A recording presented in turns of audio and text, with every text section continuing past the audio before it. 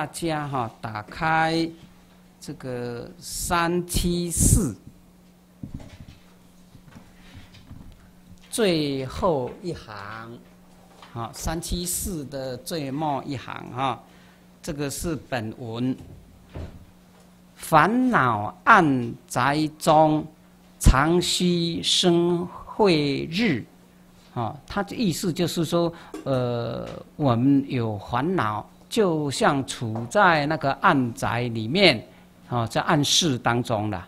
这个时候啊，你必须经常生出了智慧的太阳，啊，也就是用智慧去照破这个烦恼的暗宅。呃，我们现在看看后面的这一个注释这个地方啊，这个烦恼哈，呃，在我们佛家来说的话啊，讲到了这个烦恼，呃，它有分有根本烦恼跟随烦恼，啊，那么所说的根本烦恼，它有六种啊，就是贪嗔痴。啊，吃啦、慢啦、疑啦，这个贪嗔痴慢疑哈，这个是五顿死。五顿死就是说，它来的话哈比较缓慢，要去的时候也比较缓慢。你要断的话，也要慢慢断，啊，所以这个叫做迟钝的钝。五种迟钝的烦恼，那个死哈，死就是会呃驱使你轮回生死的，驱使你呃走入到这个五道六道轮回的，所以叫做死哈啊。五种迟钝的死，死就是烦恼哈，有贪嗔痴慢疑哈，还有加上了不正见，这样子不正见就邪见嘛。这样子的话，总共有六种。好，那么这个不正见哈，我们还可以把它解释为哈啊五力史，五种力的烦恼。力就是跟这刚刚说的那个钝哈，呃，刚好相反。力的话就是来的很快，很快力；要去的时候也很快力。来跟去什么意思？就是产生的时候哈，很快它会产生；啊，要消除的时候也很快它就消除了。这个是五力史。通常这个五力史哈，就就是身边邪见界这个后面这个表那一个，那个通常都是因为你譬如说进入到邪教，有邪师哈呃误导你。好，把你引入到邪见里面去的那一个，好，就是不正见的啦。但是呢，你如果说遇到了这个正法的名师，他给你一指点，马上就啊翻转过来，很快急速的就啊翻转过来的，就破了。所以来的话很快，去的话也很快，所以叫做力。啊，力是这样子啊。刚刚那一个五顿时的顿。啊，它是来的话很慢，因为他像贪嗔痴这个，他不是急速的嘛。从小的话，其实从呃无始以来，我们还没有出生的时候，他就已经在存在了嘛。所以这个有先天性的啊，呃，还有后天的了，通通有。所以他这个哈贪呐、嗔呐、痴慢疑，还有像这个贪嗔痴慢疑这个哈，呃。有些与生俱来的哈，这个非常非常难断的。明明你知道这个不好，但是呃遇事情遇到了，它自然自然而然它就涌现出来，所以这个比较慢啊，这个叫做钝啊，迟钝的钝啊啊！你现在要消除的话，也要慢慢修，透过了你修禅禅定啊的功夫，它慢慢的呃呃呃啊。淡薄啊，然后解除哈。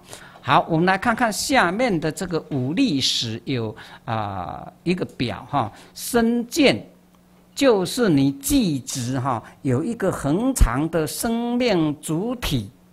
啊，譬如说你执着我我我这个生命里面有一个真我，哦，你在主宰我们这个身体。呃，人死了以后哈，那这个肉体坏的，但是里面有一个灵性，那一个真我，它永恒的存在啊啊，这个真我啦、灵性啦、灵魂啦啊，这些通通都是身见。另外，我还要跟各位讲一下，呃，我们佛教徒哈有一个误会。他误会什么呢？误会，哎，我们身体里面哈啊，除了这一个五蕴之外，哦，它里面还有一个佛性，哦，这个五蕴，哦，色受想行识就是五五种嘛。那五种之外还有一个灵性，所以这个五种哈，这个五蕴消除了以后，人死了以后消失了以后，佛性还在，哦，那个佛性。跟真我啦、灵性、灵魂哈是相当的、相同的，所以灵魂不灭嘛，那一个就是我们的佛性永恒存在。这样子的观念，其实这个是外道的，啊，大家也知道这个是外道见哦。在佛陀说法当中哈，那一个佛性在原始佛教里面的《阿含经》里面，根压根儿就没有佛性的。佛性是大乘佛教所主张的，但是他这个主张是怎样来的呢？是透过了性空的呃境界而建立这个假名施设。他把这个无自性，就是缘起，我们的生命体就是缘起嘛，就是色受想行识这个五蕴合合缘起。那缘起了以后啊，哎，我我们有。有这个言语举止，这个这个行动，你知道，还有精神上的那种种种活动。你要知道，这个里面哈，通通没有一个永恒的实在性的存在。因此，我们说到五蕴是性空的，照见五蕴皆空。那个皆空呢，就是指这个里面是无自性的。好。以这个无自性性空的境界，我们用另外一个名词，就是用一个肯定句来称呼它，那一个叫做佛性，叫如来藏，叫真如，啊，那所以这个真如啦、如来藏啦、佛性还是性空的意思，这个大家一定要搞清楚哦。你不要以为说它那个是一个灵性，有一个呃呃呃。实在性的存在，人死了以后，还有一个性体的那一个体性的存在，那么那一个呃呃，就称为佛性。所以人死了以后哈，他会去轮回，会去呃呃呃呃解脱，还是去轮回，还是往生？那一个就是佛性啊，去轮回生死的。你这样子去的说法，就掉入到现在说的这个身见，也就是外道见的。哦，大家一定要搞清楚哈！佛教是无我的，里面是没有一个灵性的，没有一个灵魂的。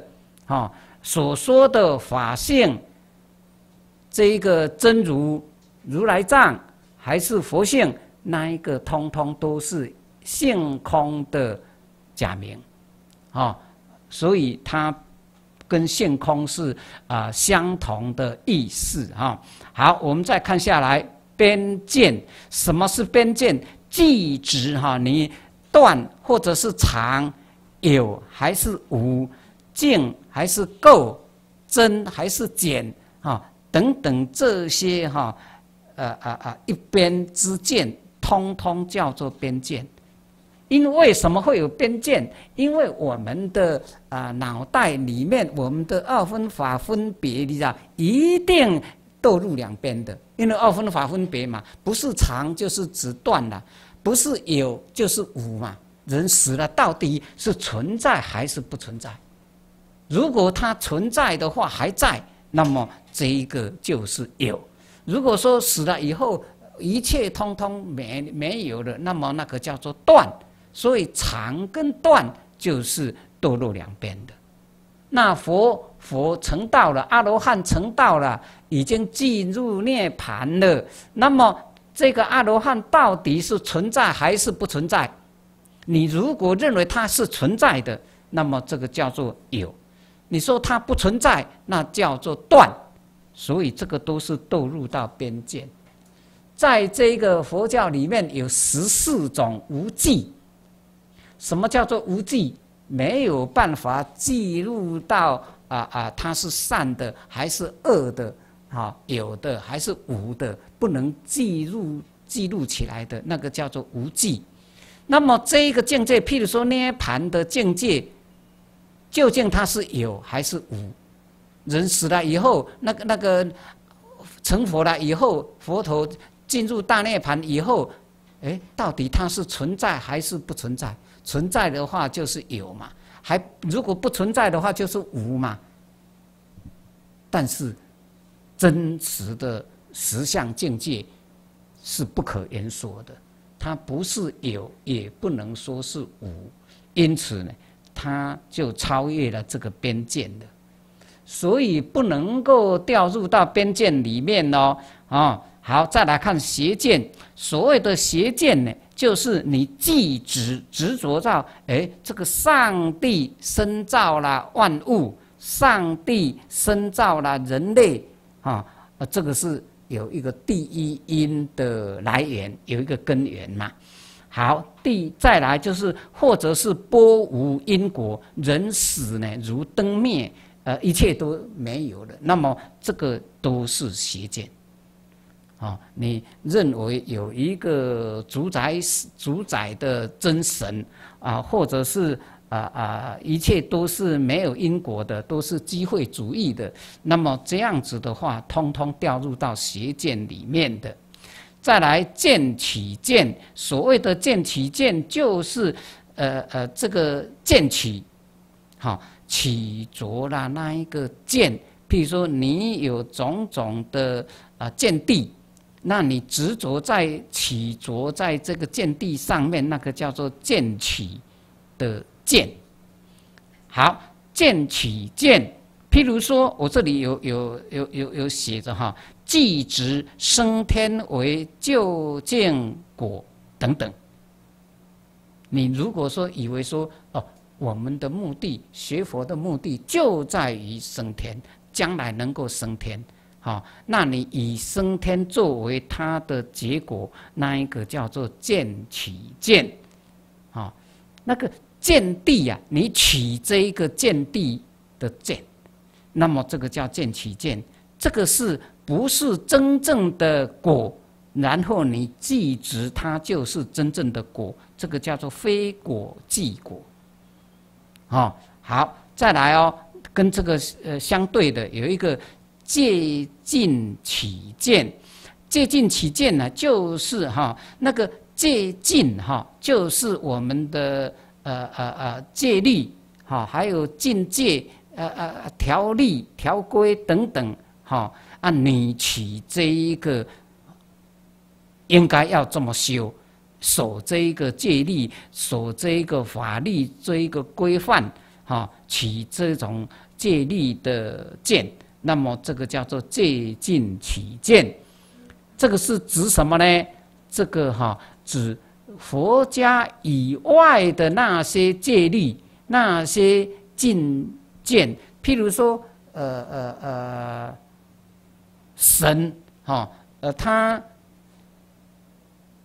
制造了哈，还是制定了某种呃几几个戒律，要你去遵守哈。啊，你一定要去遵守这种天条、天律，哈啊啊，这个这个就是借进起，因为你守了这个借进起的这些啊条例，它不能成佛嘛，顶多是升升天，成为一个善人呐，最好是成为善人，但是会不会成佛？不，不可能成佛的，保证不能成佛。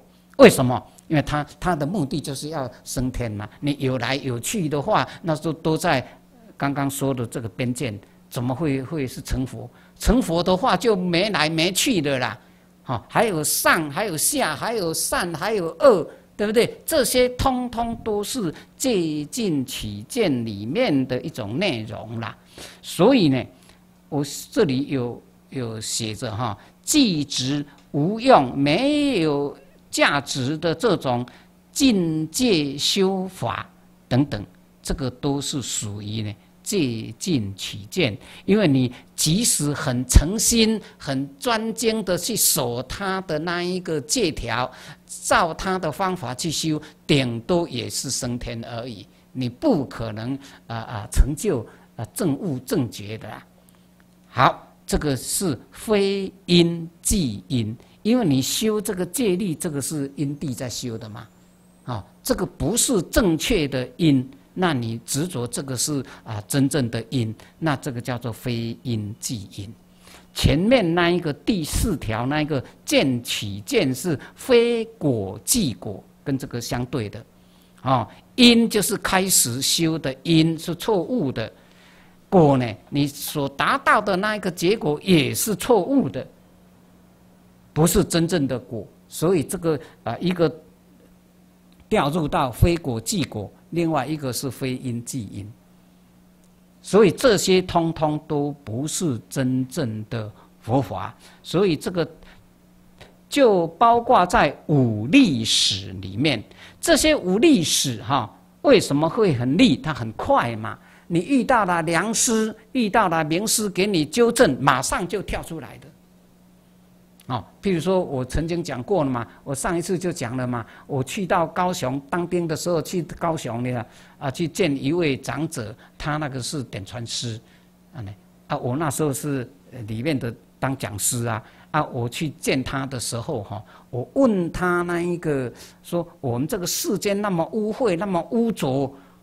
啊，为什么上帝创造了这个生造这个天地？为什么要生造那么污秽污浊、山崩地裂的海啸？这个呃火山等等的，那还有饥荒、瘟疫、哈战争，那么痛苦的这个世间，上帝为什么要制造这种世间？为什么要生这种会有犯罪因子的这种众生？每天都在看到凶杀案呐，啊啊啊啊！发发起最大的就是战争嘛。为什么要搞到这样子？现在像我们现在这个呃呃呃疫情那么严重，啊，武汉肺炎这个，你看为什么要搞出这种？那个都是人为的哦，啊，你说蝙蝙蝠的不可能，它因为它要加上了会传入人的那一个媒体，那个一定要有。呃，人工加工的，所以为什么要搞这样子的？这个就是犯罪因子在作祟，要杀尽天下的人，杀尽天下的众生，才发明这种毒。所以像这样子，上帝为什么要呃呃呃呃呃生殖这种犯罪的因子？像我在问他嘛，第一个问题就问他，他给我的回答。他说：“哎，这个是老母哈，生造万物，上帝生造万物，这些就是里面方便说的啦。真实的情形就是讲缘起，哈，缘起就是讲到了一切法，它不是有一个第一因所生造的，而是有许多的这些因缘假合，这个叫做因缘，叫做缘起，缘起组合了以后才产生出来的啦。”这个叫做啊缘起，缘起里面必定是没有自性的，它是性空的。我听到了这一句哈，啪子马上哦，那个脑袋里面马上就一道好像灵光这样子闪一下这样子哈，哇，这个太厉害了，佛法真的太厉害，马上哈就消除了那些邪见。所以我们要要知道这个五历史的历。非常的快利，哎，当你进入到邪见里面的呃执着在邪掉入到邪见坑里面，经过了人家给你一指点地，马上就跳出来的，所以这个很快利的，这个叫做无历史的。好，我们下面来看下来哈，呃，随烦恼哈里面哈，它这个随着根本烦恼而升起的。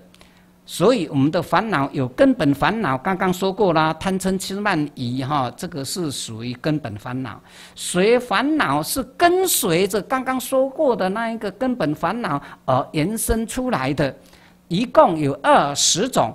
啊，我下面有写出来哈，有愤，还有恨，还有恼，还有负，什么是负？负就是呃，我们犯了罪，我们呃犯了戒，还是做了不良的呃恶恶的事情，你把它盖覆起来，怕人家知道，那个叫做负哈。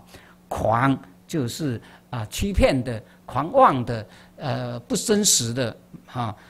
惨就是呃呃呃惨灭，对于哈呃呃呃你想要要求别人，你就在外面哈啊去谄媚对方，讲好听的话，去拍他的马屁等等哈。还有这个骄骄就有一点傲的那种味道哈。害就是有毒害心，忌就是嫉妒心，谦哈呃就是谦吝吝啬的，无惭。跟无愧，那个惭跟愧哈，在佛在我们一般的说法好像都一样嘛，惭愧嘛，你会觉得很惭愧啊，做了这件事情啊啊不对了啦，我内心很惭愧。但是在佛家来说的话，惭跟愧是两种，是不一样的。那个惭哈呃就是哈你自己发现到哦，我做这一件事情是错误的，那个叫做惭。啊，愧是指呢自己发生了错误，但是自己不知道，由别人给你激发、给你指责，哎，你才发现到的。那么那个叫做愧。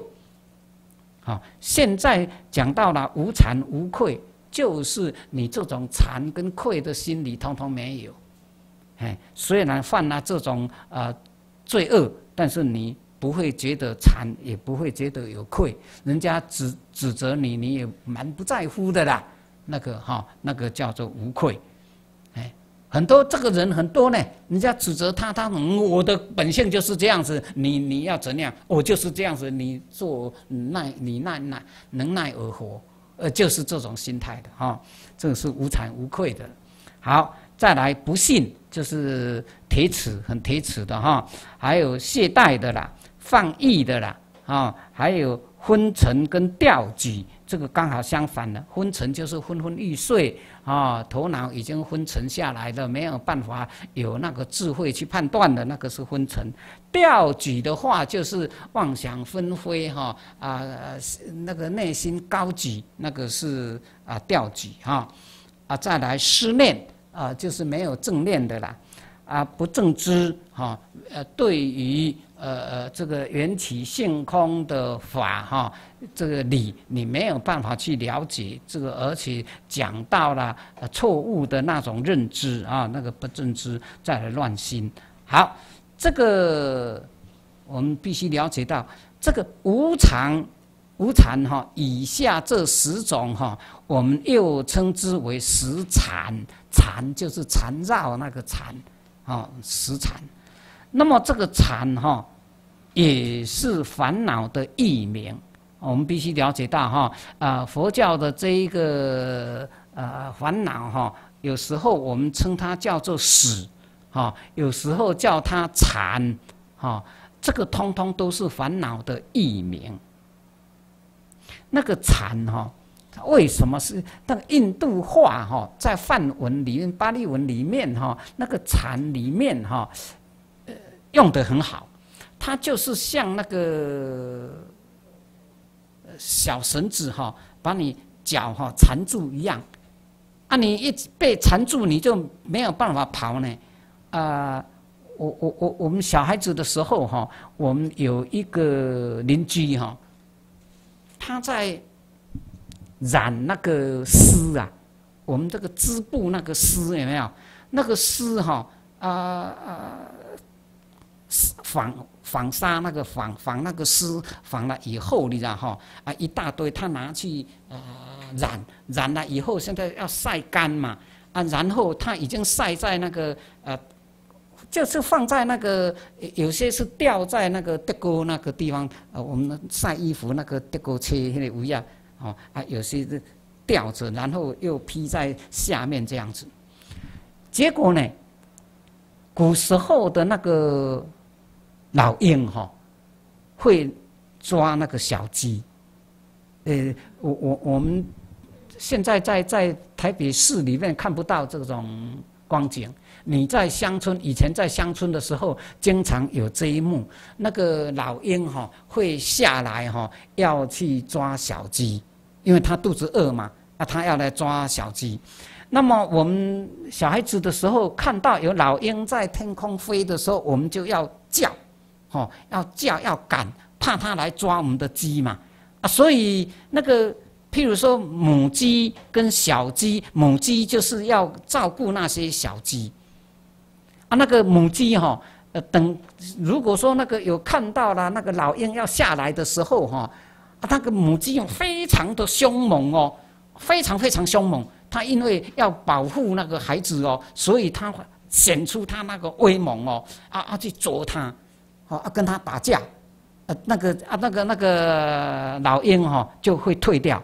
哦，那个我我们小孩子所看到的情形是这样子。好，我现在讲到有一次哈，他那一个老鹰下来，你知道，要去抓那个小鸡，刚好哈呃被人家看到，人家就开始就拿那个东西那个东西要打他，在一直喊喊一直叫的时候哈，他那个老鹰害怕，你知道，害怕的时候要飞起来的时候哈，去那个脚哈去。呃呃，缠到那个刚刚说过的那个晒那个丝的那那那个地方，啊，被他缠住，啊，那个那那些又有些是挂在那个电钩车那个地方哦，哦啊挂着，啊，他结果他一缠一一一一滴想要脱脱脱离不了，他那个整个两脚后来通通被缠住了，那个老鹰就被缠住跑不掉了。这个叫做缠。我现在讲到了缠哈，类似我们一个人的心态，你知道？譬如说，当你看到了可遇的东西，哎啊，内心心动了，你就掉进去了，你就被它缠住了，马上就被缠住哦。他那那个这种是无形的那种力量哈，把你缠住，纠纠纠结在一起。这个《阿含经》里面叫做钩。魔钩啊，它称之为魔钩。那个魔钩的钩哈，有那个倒钩的那，我们那个钓鱼呀，我把我现在把那个鱼钩哈，把它放大来讲的话，我们如果说放大的话哈，譬如说这个鱼钩是这样子。但是它这个钩不是用尖尖的，一一直这样直直的尖尖，不是哦，它有一个倒钩这样子，哎，那你这样子被插进去的时候哈，被勾到肉里面的时候，嘴巴里面哈，这一个暗钩哈会把它倒钩哈勾住，你就逃不掉，怎么去挣都挣挣直啊，挣不脱啊。那么我们这个众生哈。被这个五欲所缠绕的时候，哈，你就好像被勾住了。《阿含经》里面讲到的，哦，这个叫做魔钩，啊，把你勾住，你永远逃不了的，很恐怖的啦。好，因此我们称它叫做缠，又称为结。哇，打结那个结呀，把你啊打住了那个结，把你啊啊啊困住了。好，我们现在下面看到那个。第二哈，暗宅，暗宅哈，就是没有光线，哈，照明的那种暗室，那一个叫做暗宅啦。这个这里哈是譬喻我们的身心没有智慧来照明，这个我们称它啊啊叫做暗宅哈。这个六足是譬喻啦。第三哈，晦日。那个日就是一种譬喻嘛，也就是智慧光明的太阳，能够照耀明澈，那个称为慧日啊。呃，其实就是讲到我们的般若智嘛。啊，你你有了智这个智慧，马上可以啊照见清楚嘛，你就不会掉进去了。好，我们下面来看看论义哈。这个烦恼暗宅呢，啊，就是呢。呃，我们无人哈，我们的身心呢，就像一个宅宅地哦，就是住宅啊。因为被贪嗔痴无明烦恼所蒙蔽，所以称之为暗宅。它会暗的原因就是无明嘛，哦，把这个无明我们称它叫做暗。其实呢，正如《法华经》的这个第二卷譬喻品第二里面说的：“三界无安，犹如火灾。”他说：“我们三界，哈，欲界、色界、无色界，这个三界哦，没有办法安隐。”哈，没有办法安稳哈啊，非常的这一个呃呃呃呃煎熬。那么呢，就像火灾一样，火灾就是啊发生火灾的这种房屋啦。那这个三界火灾呢，其实就是指什么呢？我们无人的身心充满了三毒的猛火。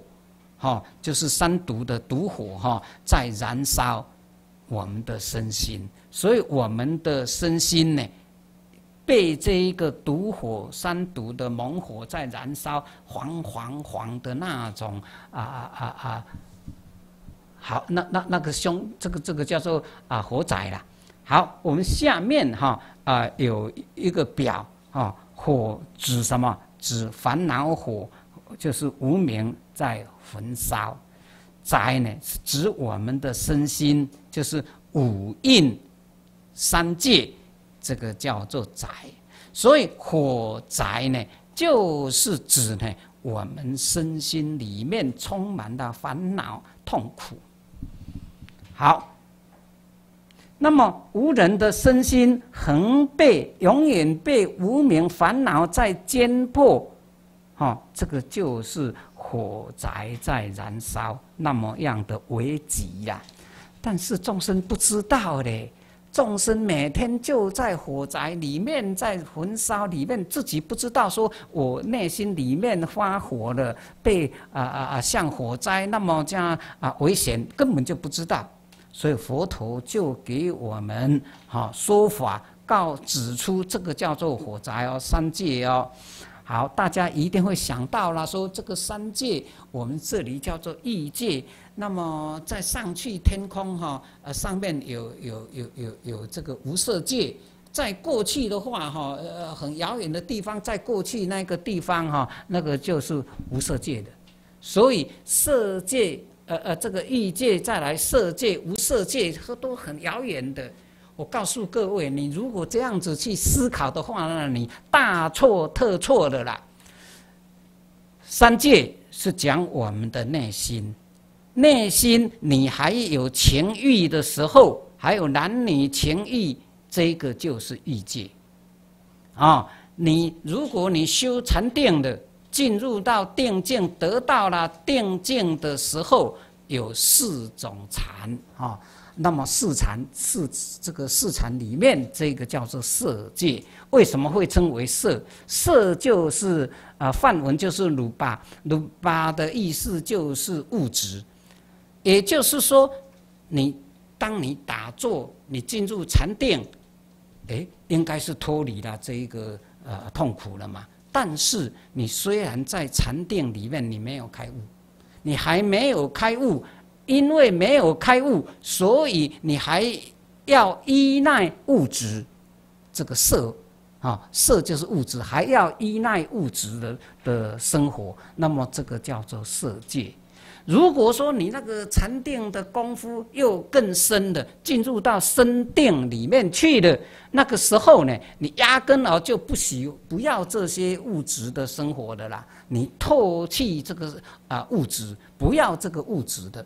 啊，那么那个叫做无色界，啊，所以这个不论是欲界还是色界还是无色界，通通讲你内心的一个界限，啊，所以三界是指我们内心的一个界限哦，你不要想到了外太空去哈，啊，好，我们知道了，所以三界通通就是一个大火宅。这个烦恼在焚烧的一个地方，好，我们再看下来哈，这个无名烦恼的这一个身心呢，六足呢就把它称为暗宅。啊，这个是因为没有智慧在着照啊，不明性空的实相，而任三毒在肆虐。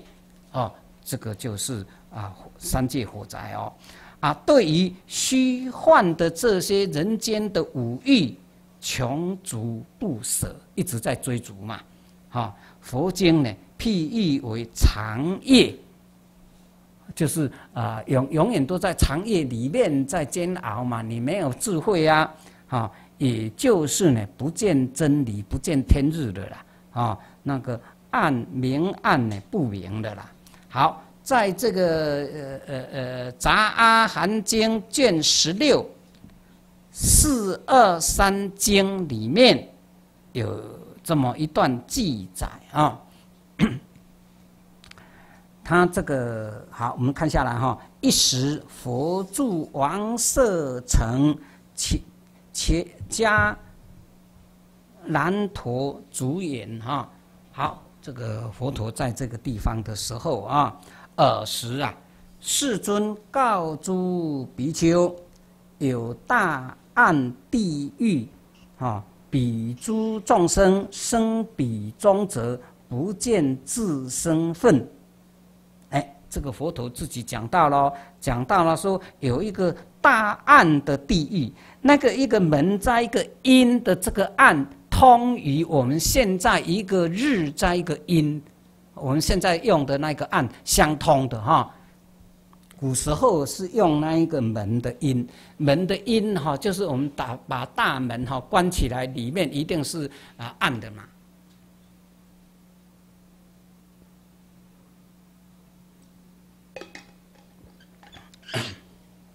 好，我们再看下来哈，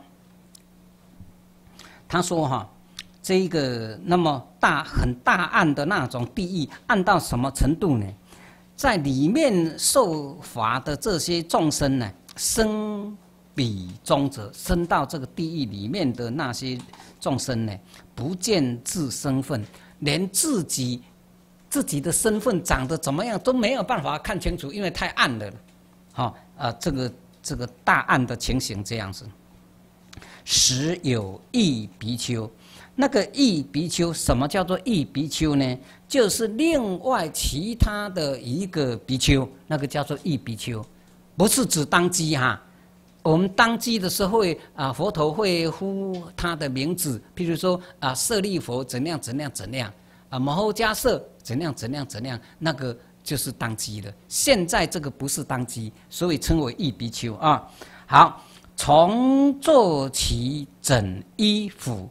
啊，为为佛作礼啊，合掌念佛言：哈，白佛言呐，世尊，此则大案，为此大案，复更有余大案，甚可不为过于此火。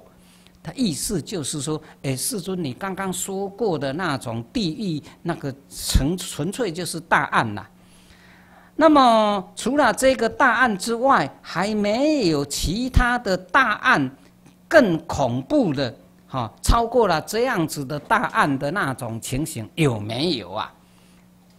佛告比丘啊，佛陀就跟比丘说了，如是是的，啊，更有大案甚可怖畏过于此者，哎，真的有那种哈大案的呃呃。非常非常恐怖的，比这个更严重的啦。那个是什么呢？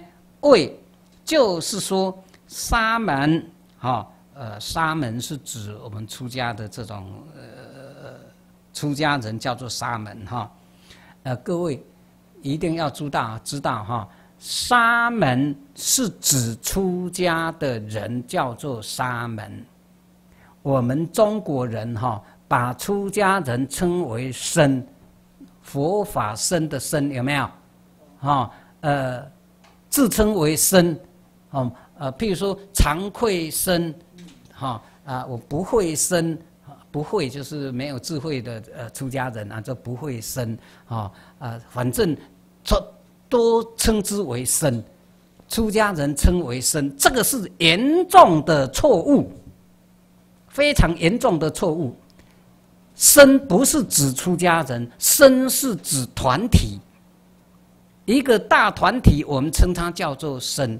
僧不是指出家人，出家人要称为沙门。我现在就是附带的跟各位讲哈，沙门的话是指出家的呃身份，那种叫做沙门哈。沙门的意思就是，呃，翻译成我们汉文叫做勤习啦，哈，还是习勤啊，习灭贪嗔痴的勤修戒定慧，就是出家的那种身份。再来婆罗门，婆罗门就是清净的啊，犯智哈，行行道的人呐。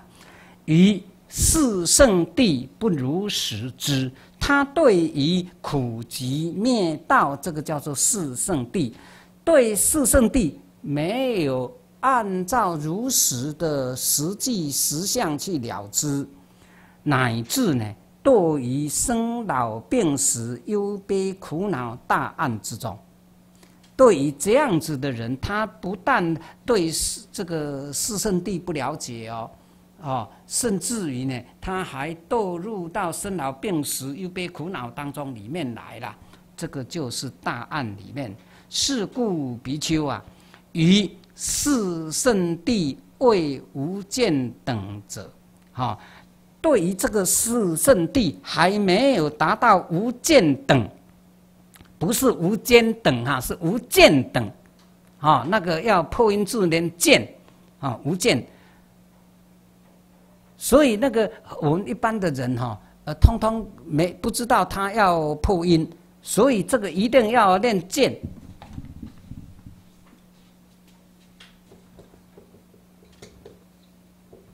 这个间哈，它是破音字在。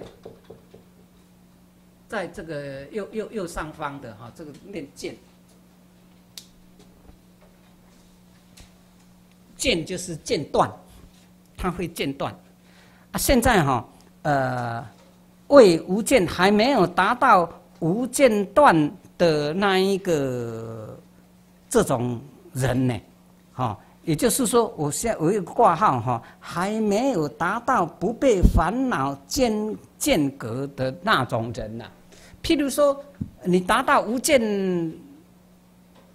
等的那一个呃境界，就是你已经开悟了。你悟入到你这一个实相的境界，你那个就是无间等的，那个不会被妄想所插入间断，哈，那个就是无间等的了。好，当勤方便起真上欲。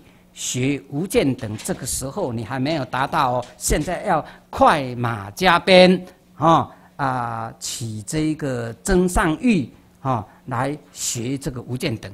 好，你看这一段的意思就是什么是最大案可怖的。好，就是说啊。对于这沙门还是婆罗门呢？这种修道的人呢，他对于我们这个苦集灭道的观察呢，并没有仔细去啊了知，没有如实的啊了知，啊，所以呢，他堕入到生老病死里面，忧悲苦恼里面，这个才是真正的大案。因为这种人他还没有达到无间等的那种境界，所以。他哈啊还在生老病死、忧悲恼苦当中，最大的问题就是不能够见到四圣地。哎，当你见地的时候，啊，所谓的见地，就是见到了四圣地，啊，也就是我们中国人所说的呃见性、开悟。见性，你知道哈？那个见性就是现在说的见地了。好，我们再看下来啊，真正的大案，实际上是指我们当下没有这一个智慧，就是无名烦恼。我们当下有有有这一个啊无名烦恼蒙蔽了我们的身心的实相，不知道五蕴。身心它是性空的，而却执着以为实实际的，以为恒常的，这个叫做愚痴了。我们称愚痴是指这一个境界。好，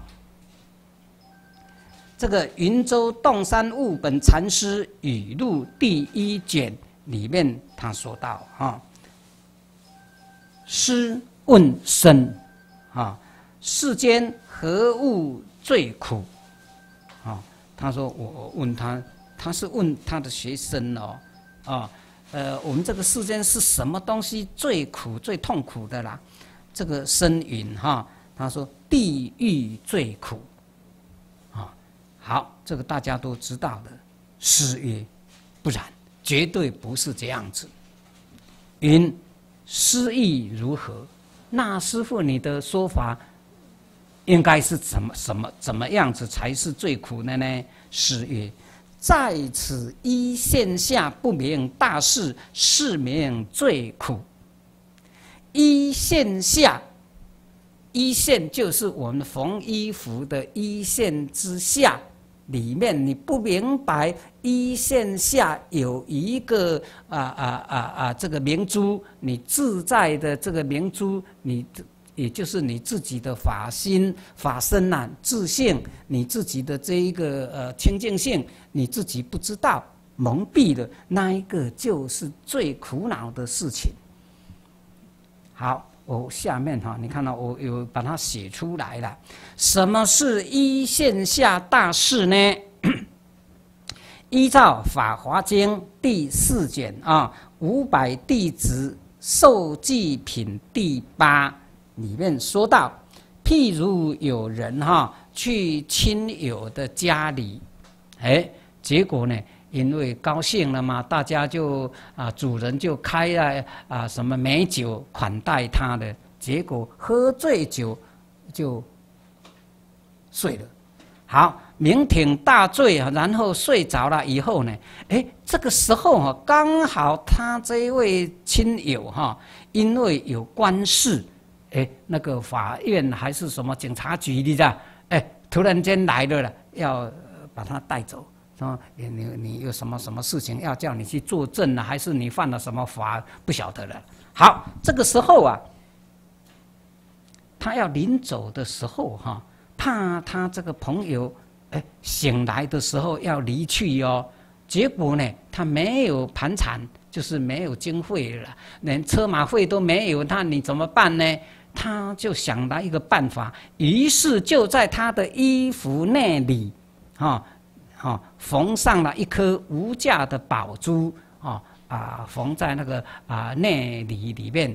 古时候我们的衣服哈，有外面一层，内里也一层，奶粒呀，哈，有一层。啊，他就把那一个啊无价的宝珠缝在里面的了。结果呢，后来他这个酒醒了，到处呢。去流浪乞食，当乞丐，当要饭的啦，啊，一直辗转走到了其他他国的地盘去了啦。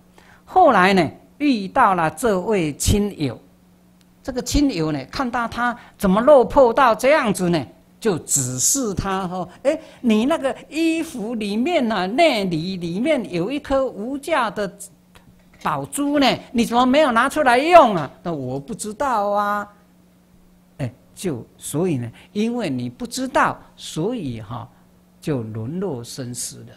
好，现在我们众生每一个众生的里面，通通有一颗无价的宝珠，就是你的自性、你的佛性、如来藏真性，但是我们都不知道嘞。所以佛陀呢，就是指那一个亲人啊，就来给你指点。你呢你的身体里面有一个无价的宝珠，你要拿来去应用啊。意思就是这样子。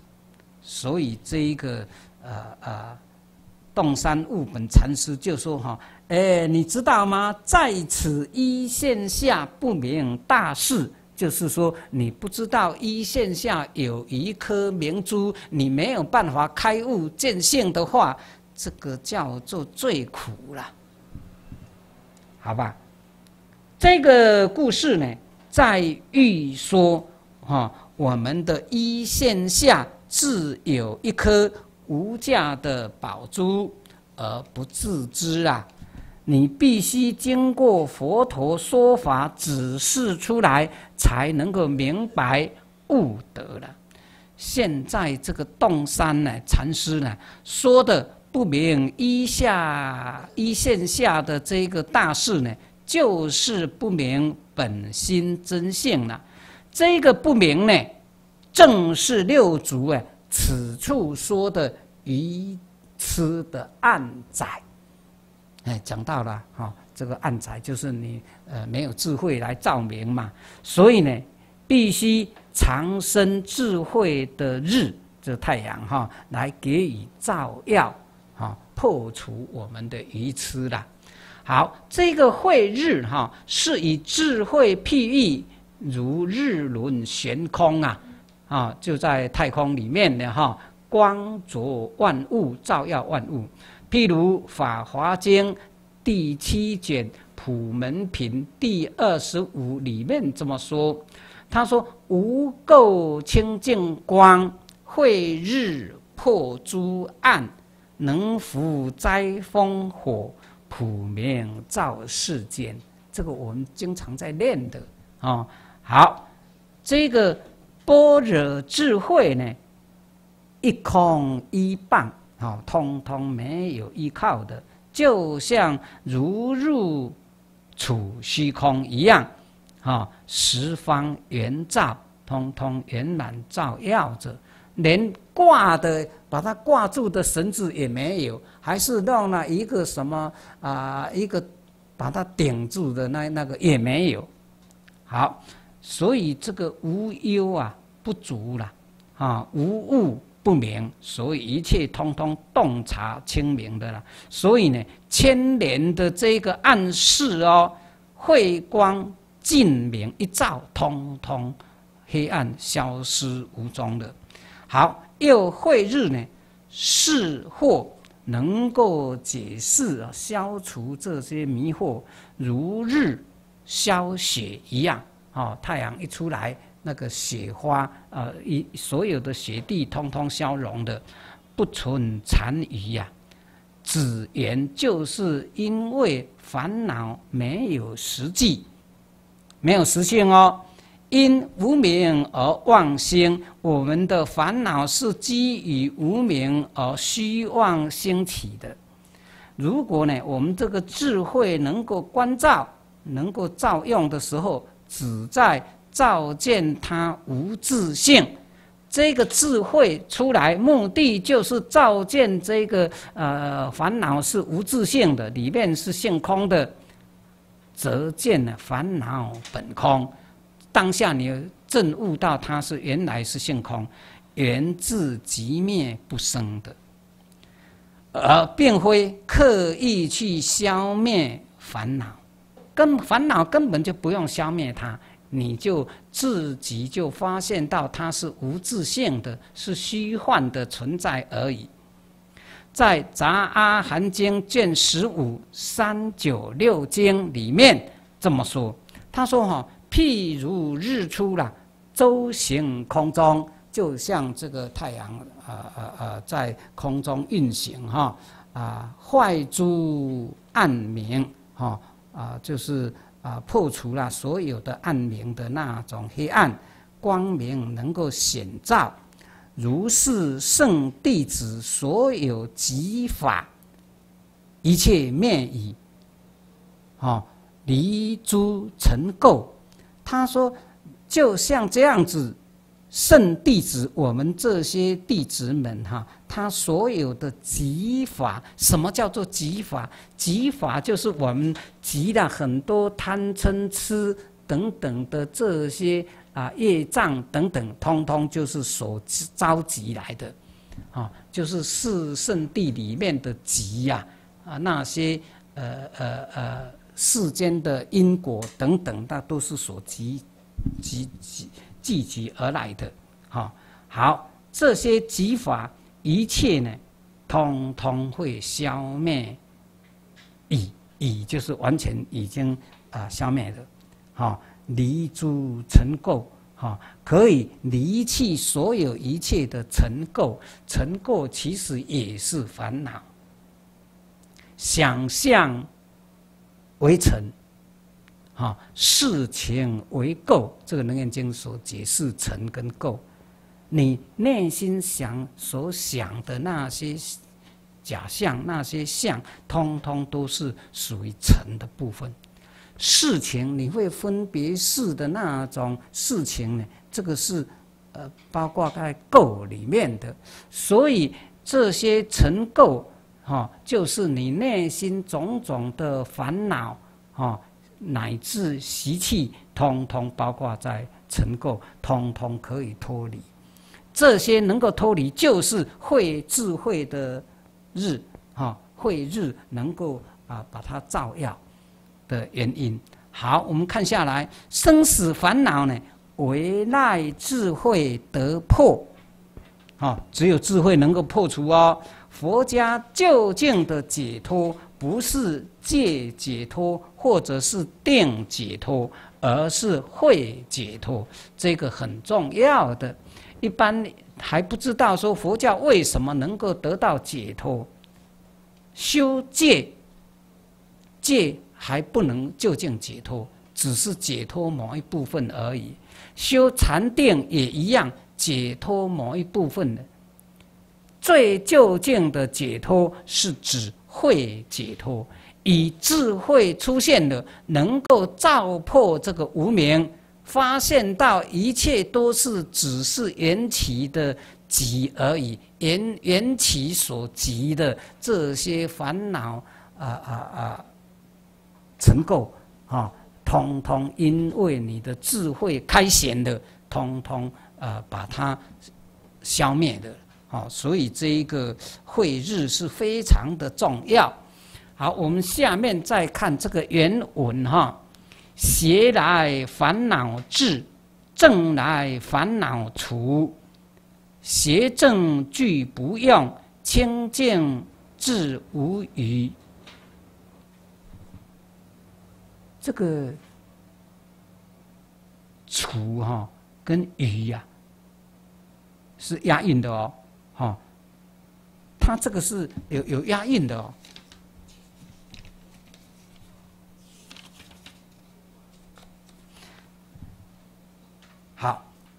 这个邪念，邪就是邪念。当你有邪念来的时候，哈，哎，烦恼马上跟随而至，马上就有烦恼来的了。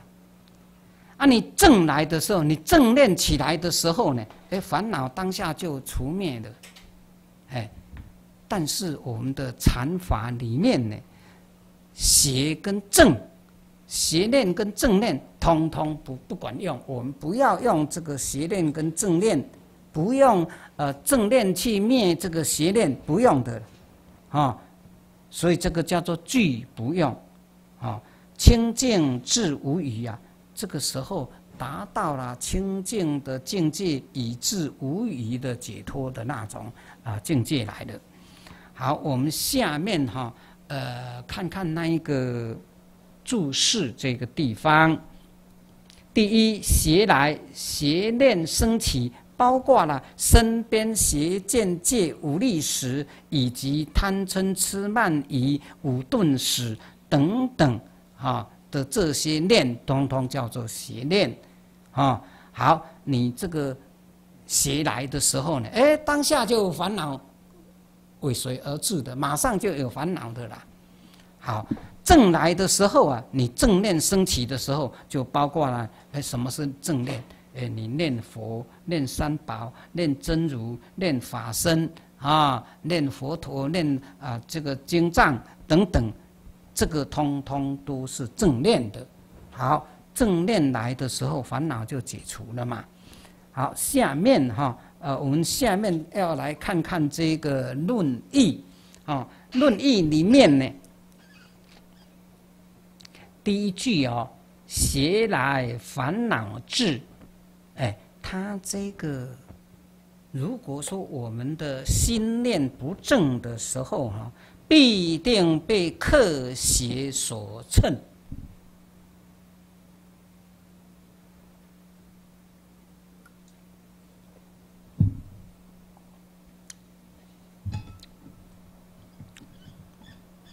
所以哈，人呐，你这个正念哈，要恒时哈保持着正念。一旦我们的正念消失，邪念插进来的，你马上烦恼就来的。所以那个叫做克邪。为什么这个邪法哈邪念叫做克？不，它不是主人呢。主人是永远都在的。那客人的话，他是有来有去。哎，今天来这里，呃呃，住一晚，明天就走了嘛。就那个旅客啊，啊，所以那个客是有来有去的，主人是永远都存在的嘛。现在所说的邪邪，就是像啊客人一样有来有去的，它有活动性的、流动性的啦。好，那么贪嗔痴等等的这些烦恼呢？就会趁虚而萌动，哎，趁虚而入咯。这个时候啊，智慧被隐蔽的啊，这个时候必定会造业而沉沦六道。呃，所以呃，要好好照顾哈这个正念哦。你看哦，下面就讲到了正来烦恼除啊。这个学佛呢，就在能够摒除诸缘哈，放下这个妄念，以得到正念现前。你正念的起来的时候哈，你邪念那些妄想烦恼，哎，自然就解除了嘛，不必刻意去消灭它，只要你提出正念就好啊啊，不要去消灭那些邪念哦，什么妄想，不用不不用的。好，所以这个哈，呃，为什么会这样？因为我们的妄念乃是唯心幻现的，邪念是妄念呐，是属于哈，呃呃呃呃唯心的。好，它没有根，没有实际，所以我们的妄念、妄想哈，这种杂念、邪念这些，通通没有实际的根本。它是无自性的，所以这个是没有根的，没有实际的。你不要理它，只要你提出了正念就好，那妄念它自然会消除消除。你不用去灭这一个啊妄念，你把正念提起来就好。所谓的不怕念起呀，只怕觉迟啊。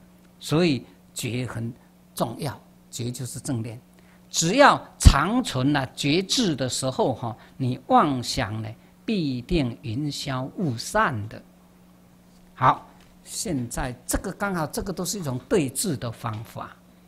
现在禅的力量，它是邪正俱不用，不管你是邪念还是正念，通通不要去啊用它，可以。清净至无余的，这一个邪正俱不用啊，那一个才是真正的正念现前。这个时候哈，那一个呃，可以达到清净以至于无余的清净境界。这个在顿门禅的立场来说的，哈。不不不是剑门，剑门一定用这一个啊啊啊正念去对治啊啊邪法邪邪剑哦，但是在这个顿门的立场，他不用，不不是用对治的哈。啊，所以不用以正来破邪，因为邪本无根非实，这个很重要，因为邪本来就没有实性。没有自信，它是没有根本、没有实际的，所以它是性空的、无自性的。你要发现到它是无实性就好。邪既然是无性的，那么因邪相，哈，因为这个邪而相对而立的那一个正，当然也不复成立。邪既然都都是假的，不用去理他的嘛。那你要用那个正来对对治干嘛？不用的啦，所以也不用成立。你要知道正的建立，是因为有邪才会有正，两个是相对啊。有邪，然后有正，哎，两个对立而存在的。如果邪不存在的话，正也不可能存在。好，因此呢，邪既然是无自性的，那么因邪相对而立的这个正，当然也不复成立，就不必用正的嘛。所以邪跟正呢，通通不要用啊，你不去理他的啦。如此呢，你自然得到了清净以至无余清净的那种境界的啦。如果是起正念去破这个邪念的时候啊，那还是在对待法中，不是真正的清净。好，这个呃，必须一定要搞清楚哈。你不能用那一个正念一直用去正念去对付这个邪念啊，那你就。一直要对付的话，就证明这个啊啊啊邪念是存在的，所以我必须把它啊啊用正念去啊对付它。啊，你一旦是认为它是事实存在的话，那这个头大了，你永远对付不了。啊，你如果发现到说，哎，这个邪念本身是虚假的，你根本就不甩它，不理它，它自然就消除了，消失了。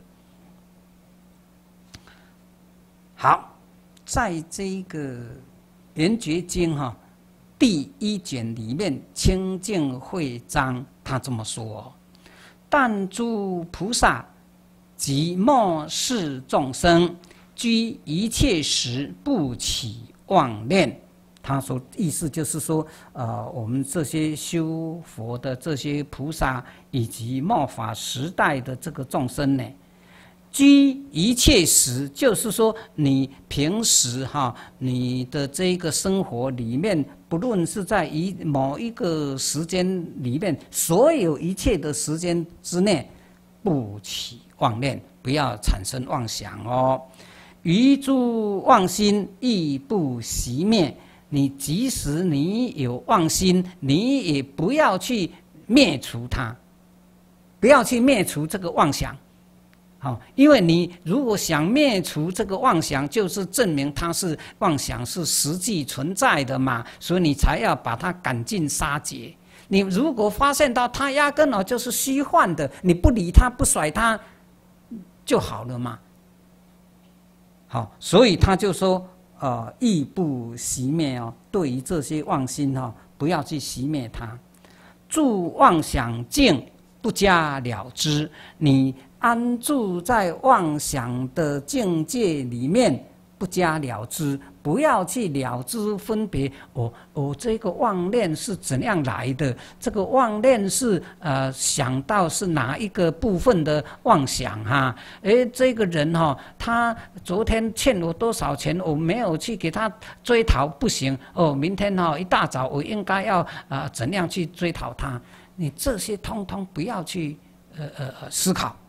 哦，所以你在妄想境，这个住妄想境，不是说你停住在妄想里面呢，不是，意思就是说，对于这些哈妄想的境界哈，你压根啊就不理他，不甩他，不加了之，好，与无了之不变真实真实，就是对于这种呃妄境妄念的那种境界呢，你无所了知哦，你没有分别心哦。啊，所以不辨真实，不用去分辨它是真的还是假的，你完全啊不去甩它，因为它都是虚幻的嘛，无自性的嘛，所以你不内心不要去动它，你这样子就能够完完全全的保持你的这一个正念，你真正的清净心哈，它就永远保持着。好，这里哈。呃，他强调不起妄念。如果呢，升起了起心追驱逐这个妄念的时候，你不要妄念嘛，要把它驱逐掉。那么这个心也是属于妄念的。所以呢，对妄念呢，不必起心去熄灭它，压根呢，你就不用去去去去熄灭的了。更不必去分别，不去分析他妄想是什么，不要去啊啊加以揣摩哈分析，不要分辨真的或者是妄的啊，因为呢，一切用心，你通通都是妄想。所以这个现在讲的这一个是属于呢，你真正下功夫，你在用功的时候要用这样子的方法，因此呢，六祖这个地方就说到邪正俱不用，这个跟圆觉经所说的完全是一致的。好，你必须知道哦。你如果起心动念，升起了这一个排除妄念的心，当下呢，就跟妄想产生对待、对峙的。你会发现到，呃，这个呃，认为妄想是真实的，你才要去驱逐它嘛。好，这个时候哈，为了你不要。跟这个妄想造成对待你知道？啊，你就不要起心，不要去承认哈，妄想是呃呃呃呃呃实际存在的。所以这个时候，你发现到妄想它都虚幻的，它自然退去的，啊啊，所以呢，才要去排除。就是说，你承认了这一个妄想它是存在的，这个时候哈，你才要去排除它嘛。你如果说已经发现到妄想是不不实际的，是无自性的，压根儿就不存在的，你根本就不用去排除啊。如果是实际存在，它又如何能够灭除呢？所以现在问题就是讲到了哈，呃，这个妄想。如果是真实存在的，它是真实有自性的，你没有办法去灭除它。你如果是无自性的，你压根儿就不用去排除嘛。所以在这个地方，不论是有还是无，是存在还是不存在，你通通内心都不要去动它。好，何况呢？这个妄想究竟是内生的呢？还是外来的呢？要怎样去断除呢？好，例如哈，有一本杂志叫做《道风二十四期》，这个道风哈，呃，他是香港的一个，好像是基督教的那一类的，他们的出出的那种杂志。啊啊！里面呃记载，他说哈，岳西香港的一个法师哈，近代的法师粤西法师二十二岁的时候出世讲经，啊，初说他一开始的时候就这么说，他说众生本来是佛，只因无名妄念，生死不能了脱了。若能破一分无名妄念，即能证得一分的法身。好，那么这个无名妄念破尽呢？那么整个法身就显露出来。当时呢，有一个老修呢，哈，一个老修性在场哦，闻而反问，就反问他：如果这个。无名妄念从外面来的，跟你不相干，又何必去断除呢？如果呢，妄念是从里面生出来的，就像龙潭啊，那个潭子很深的那个深潭龙潭哈的那个水面的那个水源呐，时时出来。因为那个深潭里面一定有泉水嘛，那个泉水会涌复出来的。好，那么这样子的话，你断了，它又在涌出。所以烦恼如果是那里面生出来的，你断它有什么用？没有用，它还是会生出来。所以断了还是不断，哦，呃，是外来的，你断了，它还是那个根是外外外面的，跟你没关系嘛，哦，啊，你如果是内生的，你断了也没有用，它还会再生呐。所以这个哈，呃，断了又出，出了又断，哈，没有了期的啦。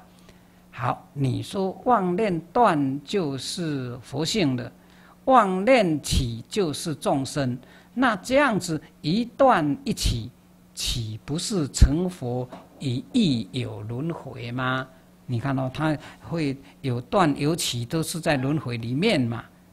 结果呢，师不能答，那个乐师，呃，乐西法师啊。就因为他是二十二岁而已啊，那时候他没有办法去回答这个问题。后来他就真正猛下功夫了啦。好，我们从这里面哈呃透露出哈一个严重的一个问题。如果说你以正来治邪的时候，邪不能进，没有办法啊消尽；以智来遣妄。好，用智慧来遣除这个虚妄的妄念的话，智意成妄，那么你这个智慧也是变成妄的。如就像泥龟叶尾，伏鸡鸡生啊，永无除尽。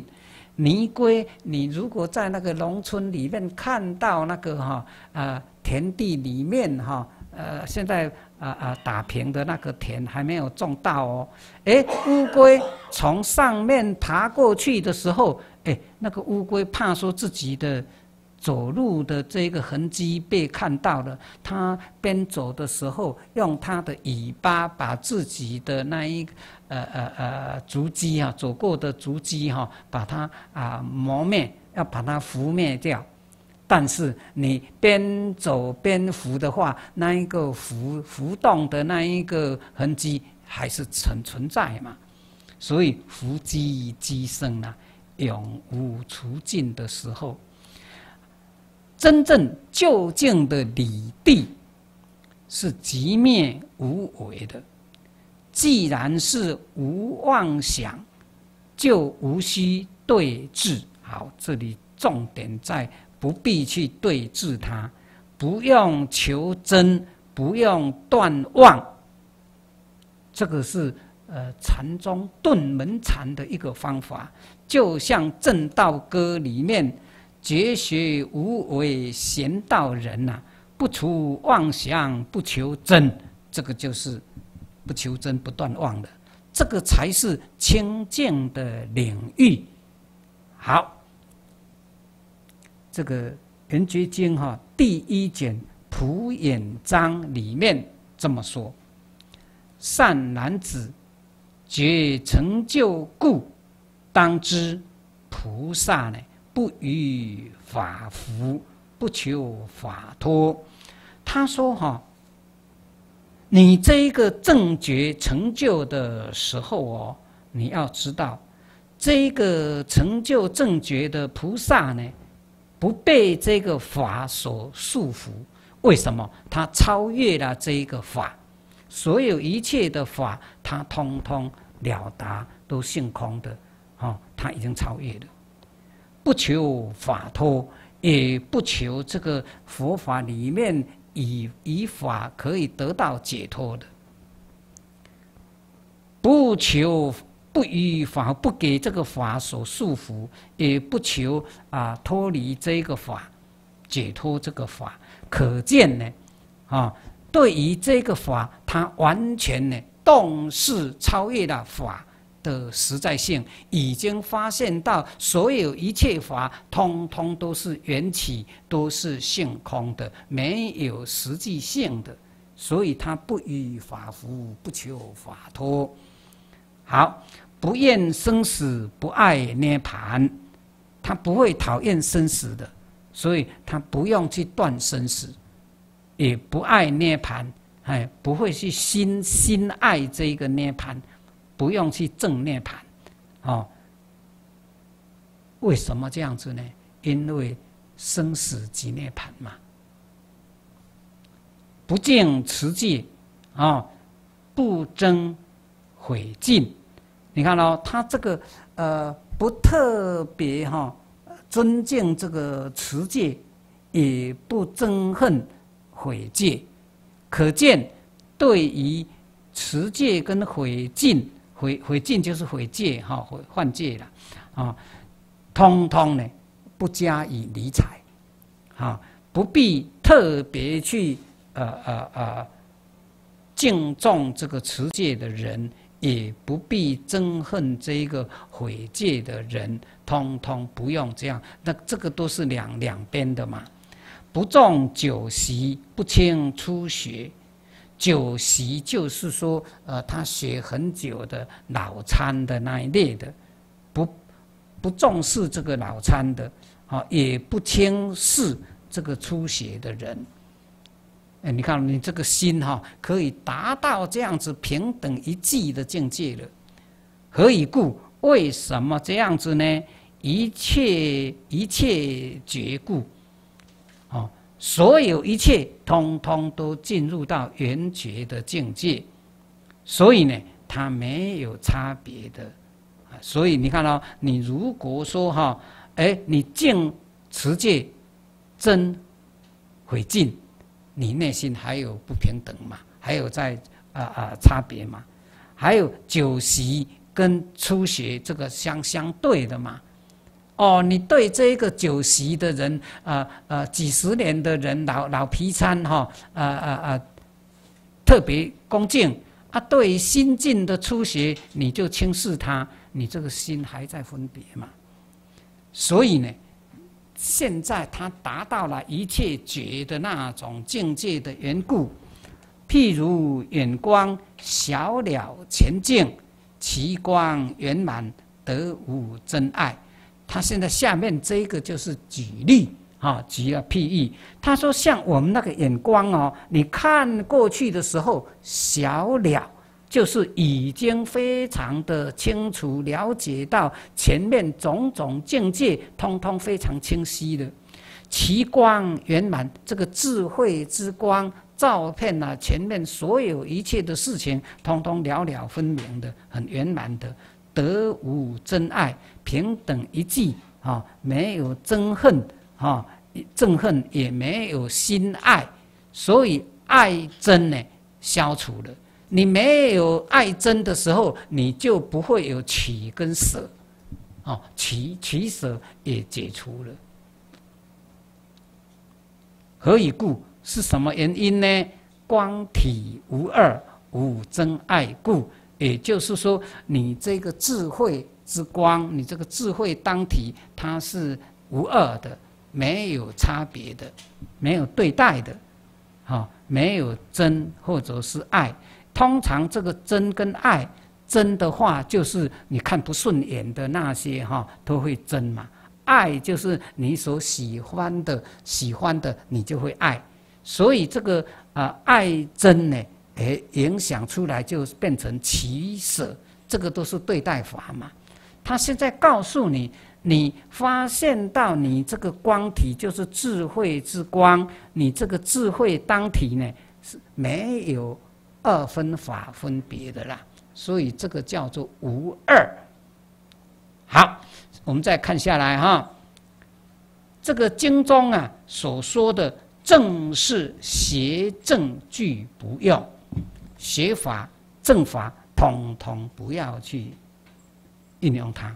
你达到了平等一际真如法一的那种境界的时候啊，那一个就是邪跟正。通通可以不用它的啦。好，又这个智博尊者，啊，全集卷一里面还记载了一个公案，我们来看一下哈。这个智博大师啊，有一天哦，听到有一个出家人啊，闻声送张卓。这个张卓是一个秀才哈，张卓见到记，哈，他在送的时候哈，哎，这个送到了张卓，他见到开悟的一个寄送，他念到了断除烦恼从真变，趋向真如意识邪。哎，他送到这个地方哦，这个智博大师哈，呃，就说到了错哎，他说这个是说错了，应该说方无病，啊，就是说断除呃烦恼方无病，啊，再来趋向真如不是邪，这个才对嘛。结果那一个听在旁边的人哈，那个声音呢，你错他不错。是你自己错误，不是张卓本身的错误。师大疑之，这个时候智博大师哈就相当的疑问：为什么会这样子呢？每自处啊，他每天所到达那个每每到达的地方哈，书二语于壁间，就写出了这两句：哈，断除烦恼从真变。趋向真如意识写这个就贴在他的那一个啊墙壁上。那个书二与与壁间那一个壁错误了，应该哈是那个墙壁的壁，不是屁。有没有看到？下面要一个土。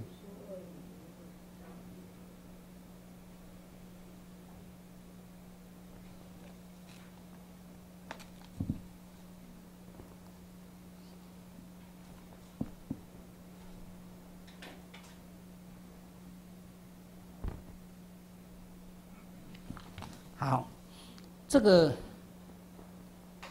一字哈，头面具种，它因为它以这个作为话头在参，他，参到了哈，整个头面具总出来的啦。一日斋次就是在啊啊吃啊饭的时候哈啊，忽然呢开悟了。